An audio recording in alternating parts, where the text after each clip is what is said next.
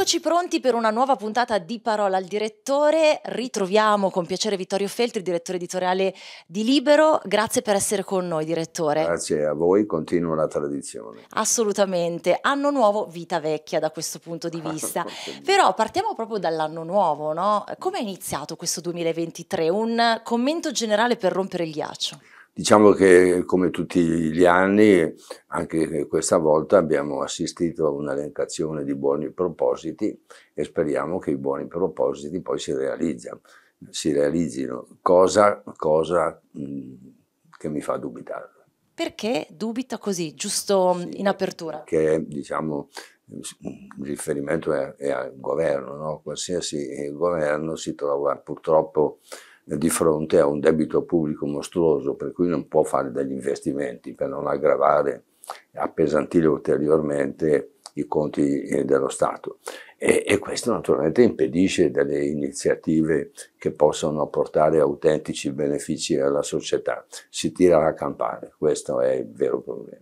È un po' un circolo vizioso però, direttore, no? perché poi parleremo del nuovo governo inevitabilmente, però ogni anno ci troviamo a dire la stessa cosa, proprio perché in Italia non c'è, sembra che non ci sia mai il tempo di mettere a punto degli interventi strutturali che possano aiutare a eh, tamponare meglio eh, sì, ma il problema è sempre, è sempre, lo stesso, non ci vogliono i soldi, ci vogliono i fondi, ma siccome noi abbiamo accumulato, accumulato nel, nel, corso degli anni, di molti anni, un debito pubblico mostruoso che è tra i più alti eh, del mondo e quindi questo ci impedisce eh, di fare delle spese, perché fare delle spese significherebbe appesantire, aggravare ancora di più un debito pubblico che è insostenibile.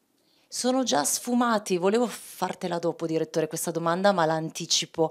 Eh, le, le, speranze legate al PNRR a questo punto? Beh, ma del PNR nessuno ha capito niente, non si sa come funzioni, non si sa quali siano i progetti da finanziare, quindi mi sembrano di, più che altro eh, eh, discorsi fumosi. Dobbiamo attendere eh, che cosa succede in pratica, dopodiché potremo giudicare per il momento è prematuro. L'evoluzione poi delle, degli eventi è velocissima in questo momento, complice anche la situazione economica, questo, questo, lo sappiamo. Ecco, nella nostra lista della spesa, come accennavo poco fa, non può mancare il nuovo governo, il governo Meloni, e quindi facciamo un bilancio dei primi 100 giorni, no? Eh, si fa di solito un bilancio. Appunto, e partiamo anche dalle scelte che il governo ha dovuto fare, che sono state ritenute anche un po' impopolari, nel senso mi riferisco per esempio alla scelta de- legata al caro carburante. Di Ma non... anche eh. qui diciamo eh, c'è un errore di fondo, il carburante era così anche prima, quindi non è che ha aumentato il prezzo della benzina, il prezzo della benzina e del gasolio, queste cose, era già altissimo e lei non è riuscita a diminuirlo ma diciamo finché, fin tanto che c'erano i governi Draghi e i governi di sinistra nessuno ha diminuito il prezzo della benzina, nessuno eh, di, eh, diceva niente, siccome non, ha, non, lo ha diminuito la Meloni, addosso alla Meloni, mi sembrano discorsi veramente puerili oltre che, eh, oltre che stolti. Mm.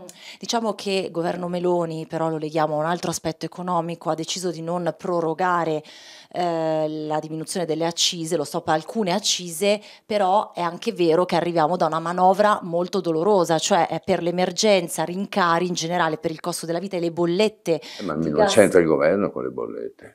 No, no, no, dico però il governo Meloni ha dovuto destinare parte dei fondi eh della manovra a quest'altra emergenza, sì, quindi sì, diciamo che bisogna mettere sul piatto della bilancia un po' tutto. No, no le bollette ovviamente. Non c'è dubbio, ma voglio dire anche eh, l'inflazione che è altissima L'inflazione è partita qualche tempo fa, certo. prima che la Meloni facesse. L'inflazione è partita anche in tempi non sospetti, quando eh sì, ancora Poi non che cosa, non c'entra niente la Meloni con, con l'inflazione, è un fenomeno europeo non mondiale, ma europeo molto importante e che condiziona la vita anche degli altri stati europei, non solo, eh, solo il nostro. Quindi certe polemiche sono completamente vuote di significato. No, no, l'inflazione arriva dopo il periodo prolungato di restrizioni a causa del Covid e ovviamente eh, i prezzi sono saliti. C'è e... una guerra in corso che oltretutto eh, costa anche a noi perché quando noi inviamo delle armi, non, mi domando il perché. Eh, eh non sei d'accordo sull'invio delle armi? No, no, perché significa prolungare la guerra. Voglio dire, siccome a me le guerre non è che piacciono molto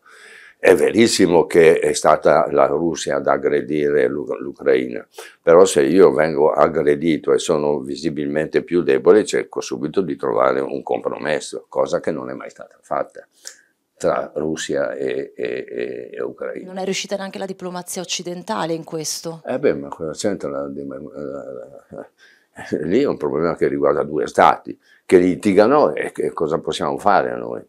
Noi ci inviamo delle armi così prolunghiamo l'agonia, questa è la, in sintesi brutale. Sì, sì, beh, infatti dopo un anno siamo ancora qui a parlarne e invece, diciamo così, nelle attese sembrava dovesse essere una guerra flash, per quanto sì. brutta e per quanto non avrebbe eh, sicuramente cambiato a livello simbolico il significato di questo conflitto, però è avrebbe così. già anticipato la fine, invece siamo ancora qui a siamo parlare. ancora, distruzione, morti e non riesco a capire come mai ci sia questa tenacia nel voler continuare a far crepare dei cittadini e a, a, a sfasciare città che poi bisognerà ricostruire, serviranno dei quattrini che non ci sono, quindi io non, non sono assolutamente d'accordo con questa politica dello sfascio.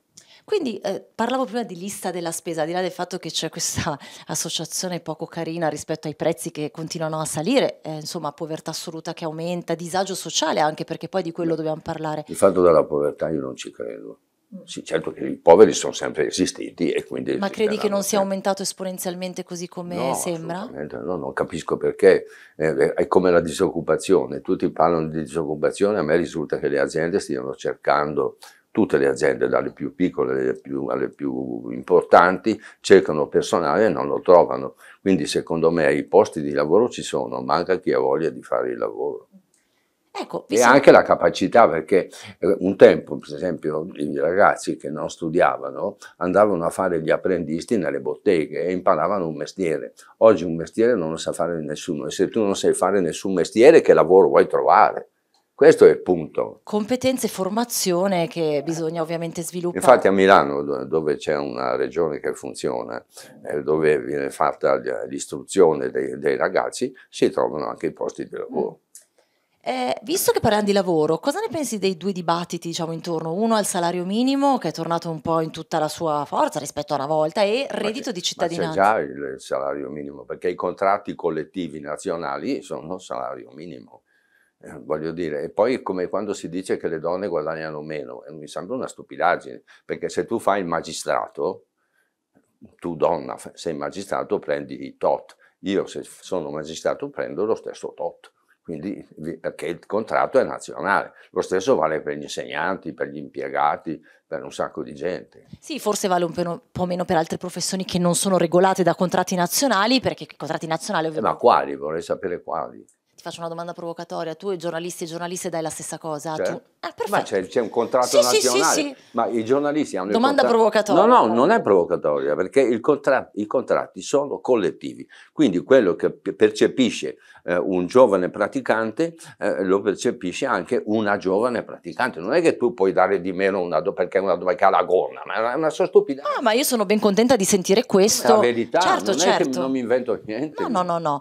Eh, sì, forse poi il problema è che nella nostra professione più che in altre ci sono uh, società che approfittano del fatto che un giovane voglia fare il giornalista e non applica le, le tariffe diciamo così, del contratto nazionale. Beh, questi siamo fuori legge però. Eh. Assolutamente. Io sto parlando delle no, norme. No, no, no. Eh, norme. Le donne eh, spesso faticano di più a fare carriera perché c'è la questione della maternità, cioè non tutte, ma molte si sposano o non si sposano, fanno un bambino. Poi il bambino diventa prevalente nella vita di una donna, almeno quando è piccolo lo deve crescere e, e quindi e spesso si assenta anche eh, dal lavoro. Quindi se io devo fare un dirigente qua dentro, non, non scelgo una donna, io scelgo le donne perché sono più brave, io personalmente, però io non c'entro. Di solito le donne vengono penalizzate in questo senso, dato che, che, che purtroppo, eh, purtroppo per fortuna, i, i figli fanno solo le donne, non gli uomini. Fra l'altro io che cosa ho fatto qua a, a, Libero ancora molto tempo fa, visto che le donne anche quando lavorano eh, pensano sempre a casa al bambino e sono sempre un po' in agitazione, ma magari rendono meno sul lavoro. Allora che cosa ho fatto? Ho detto portateli qua i bambini. I bambini sono venuti qua, non disturbano affatto, non è vero che fanno casino, stanno con le loro mamme, le loro mamme sono contente perché hanno lì il figlio, lo tengono bene, gli, gli insegnano anche l'educazione in modo che non facciano casino e quindi non è un problema. Poi ho aperto anche ai cani Beh, tu ami molto gli animali, però questo... no, però guarda, eh, esempio virtuoso da prendere, guardo anche la nostra telecamera, anche se ecco, seguitemi regia, perché questo è un ottimo spunto, si rende di più se si è più tranquilli in generale e quindi, eh, visto che in Italia c'è ancora questa, questo gap tra eh, la maternità e la carriera, eh, questo già è un primo passo, perché le aziende non possono farlo? Guardiamo il nostro mestiere, non è diciamo, emblematico, però comunque è un esempio. Chi è il direttore del TG1? Eh, sono, sì. È una donna. Certo.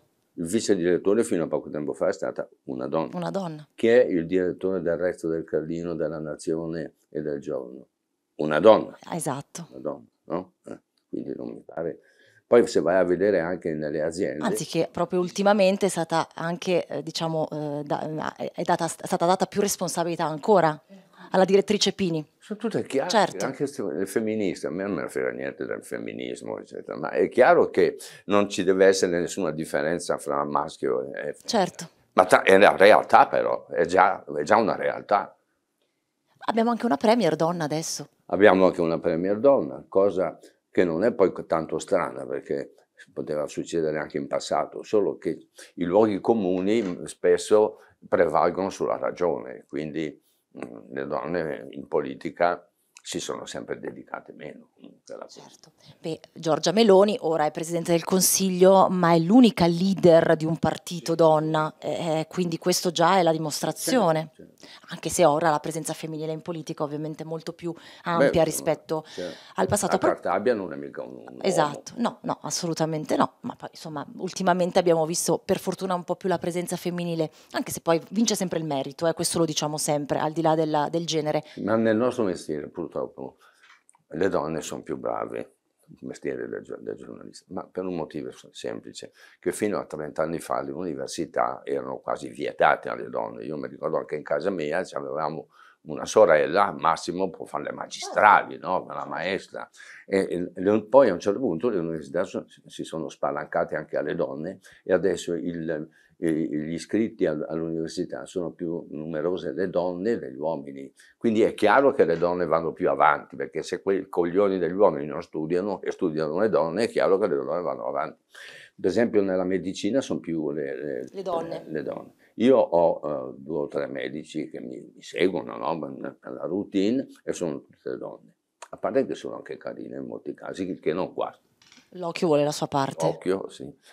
E, e, e quindi poi ho due avvocati e due donne. Da quando ho queste due donne non ho più perso una causa. Cioè, insomma, vorrà dire che quello che dico io è che le donne ci mettono più impegno perché intanto devono dimostrare a se stesse prima che agli altri di essere all'altezza e quindi si impegnano con, una tenacia che, che, che, fa impressione. Poi hanno una ricchezza di linguaggio maggiore rispetto a quella dei maschi, di norma, eh? non, non, bisogna generalizzare, però insomma, più o meno così. È, è chiaro che sono più bravi, rendono di più, le leggi più volentieri, poi sono anche più attente. Insomma, io non sono mica un femminista, anzi mi stanno antipatiche le femministe, però la realtà è no, questa. No. Come diciamo, il merito, bisogna riconoscere il merito. Ecco, direttore, eh, per così dire, tanto per non farti mancare niente eh, e per parlare ancora di politica, hai deciso di eh, candidarti come capolista a Milano per Fratelli d'Italia per le elezioni regionali. Perché questa scelta? No, ma non è una gran novità perché già quando ci sono state l'anno scorso, mi pare in ottobre, eh, le, le, le, elezioni amministrative. Eri candidato? Eh, ero candidato e sono arrivato primo. Sì, sì. Numero di consensi, quindi non è proprio una novità. Lo dico eh, perché sono stupito io stesso ad aver preso tanti voti senza aver fatto la campagna elettorale. Infatti quando mi chiedono come si fa a vincere le elezioni, basta non fare campagna elettorale perché la campagna elettorale rompe le scatole alla gente e quindi non, non, ti vota per quello. Quindi non hai fatto i santini, Vittorio Feltri? No, no, niente, io non faccio assolutamente nulla. lo dico se vado in televisione che me lo chiedono, lo dico, e dopodiché se mi vogliono votare mi votano, se non vogliono votarmi posso dire un, una frase scurile, non me ne frega un cazzo. È l'atteggiamento più giusto, scusate, io non, non, ripeto, anche perché quella è tua citazione Vittorio Feltri, ma insomma bisogna prenderle un po' così, no, le cose. Eh, a volte vanno proprio meglio quando si eh, prendono in questo, in questo modo, meglio. anche perché comunque voglio dire, le persone, salvo quelli che sono appena entrati in politica, eh, vengono già, cioè si fanno conoscere già a prescindere dalle persone, no, tu, sì, eh, eh, insomma. Quindi così facciamo un riassunto della, della puntata. Eh, quali sono secondo te i temi su cui deve insistere il governo, perché poi ovviamente la politica a cascata va a incidere sulla vita eh, sì. di tutti i giorni, soprattutto in questo momento in cui c'è effettivamente richiesta no? che si agisca per migliorare determinate allora, situazioni. Secondo me eh, bisogna creare una eh, scuola che sia in grado di insegnare dei mestieri perché non tutti possono fare l'università, diventare ingegneri, perché se hai bisogno di, di, un saldatore, cosa te ne fai di un ingegnere? Il saldatore però bisogna saperlo fare, certo. bisogna che qualcuno lo insegni e i ragazzi devono rendersi conto che per eh, trovare un posto di lavoro devono imparare un mestiere, se non sanno fare un mestiere non, non trovano. Anche quelli che fanno i camerieri, il cameriere non è così facile. Io mi arrabbio sempre quando vado nei ristoranti perché i camerieri guardano dappertutto meno che ai tavoli. Quindi tu sei lì con la manina che, che poi magari, non so, in una bottiglia di acqua minerale nessuno ti, ti, ti fila. Cioè, anche, anche, anche, i mestieri più semplici, però bisogna saperli fare. Certo, si è persa un po' la competenza soprattutto nei mestieri più manuali, no? Beh, certo, che, ma siccome la gente non studia al sud, tutti si lagnano perché non trovano un posto di lavoro, per forza non sanno fare niente, eh, se, non, se non sai fare se vuoi fare l'operatore televisivo devi sapere che cos'è una telecamera, invece se uno non lo sa non può farlo. Mi, sembra, mi sembra così elementare questo concetto, ma è difficile perché alla gente è più facile metterglielo in quel posto che in testa. Questa purtroppo è un'amara verità e io direi che la possiamo prendere come citazione del giorno, anche se poi ce ne sono state altre, direttore, però noi solitamente questa è un'amara verità, infatti poi ci lamentiamo anche della perdita di qualità no? Delle, nelle cose, però insomma torniamo a un'espressione che ho usato all'inizio di questa chiacchierata, è un circolo vizioso, ma se qualcuno poi non prende il toro per le corna, quindi questa è la, è la sfida più, perché da lì poi credo no, si potrebbero migliorare tantissime situazioni. Eh certo, il lavoro è indispensabile, chi, chi non lavora a parte che non, ecco, chi non lavora non fa l'amore, si diceva, però sì. poi non si vive. Dell'amore si può anche fare a meno, ma del, del, del, del, pasto e della cena non si può fare a meno. Pensavo dicessi che sì, l'amore si può fare anche se non si lavora, no, si può fare a meno. Si può fare a meno anche perché, parliamoci chiaro, la fatica è tanta. Il ecco. piacere dura poco e ecco. la posizione è ridicola. Ecco. Ecco. perché chi ci segue lo sa, non abbiamo più portato avanti il discorso del nostro fidanzamento. Eh, lo so, ma questa è una cosa segreta tra noi, Vero? tanto segreta. No, appunto, l'abbiamo proprio lo sbandierato. e porci, però. Grazie Vittorio Feltri, alla prossima puntata allora, Grazie, noi continuiamo con questa tradizione, anche per me. È un piacere vedere te. Grazie, e buon lavoro. Grazie altrettanto.